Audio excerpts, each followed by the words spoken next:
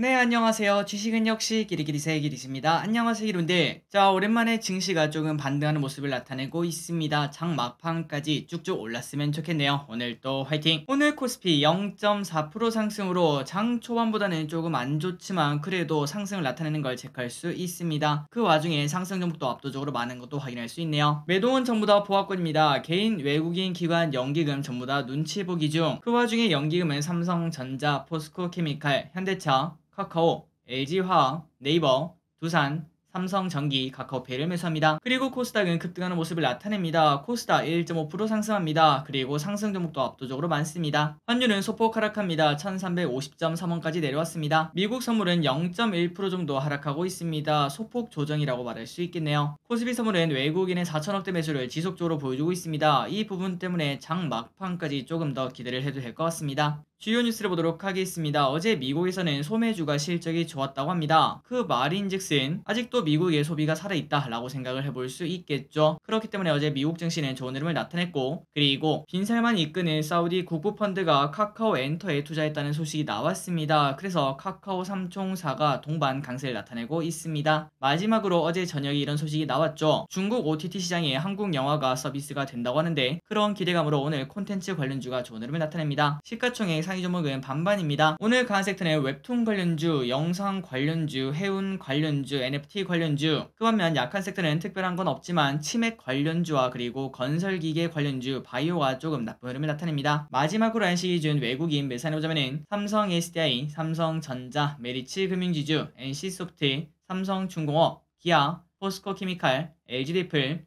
DB하이텍, 삼성전자 우선주를 매수합니다. 빠이요!